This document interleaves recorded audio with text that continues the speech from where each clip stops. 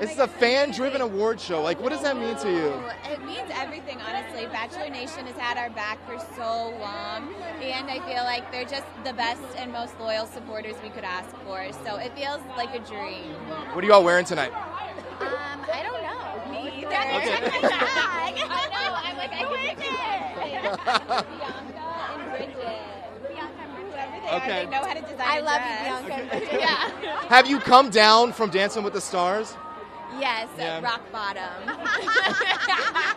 Must have been hard for you. That was such a big part of. Like, it was so fun to see you every week. I know, same. I missed you. Yeah. So you went on tour though. Yeah.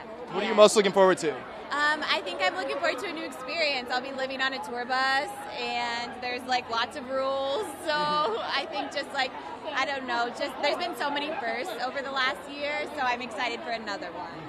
So, how's your heart, Gabby? Many people out there wondering. I've been thinking about you. How you doing? Yeah, I'm doing good. Where's this going? Thank you. Just like, well, just in general, like, how are you doing? Like, since the oh. breakup, you know, people follow you on the show. People naturally are invested in you. That's all. Just how you doing? Oh yeah, no, thank you yeah, so much, honestly. And luckily, dancing and the dancing family really helped me through everything. Rachel's been a good, like huge support, so I'm lucky to be surrounded by amazing people. What does it mean to you to be a part of Bachelor Nation?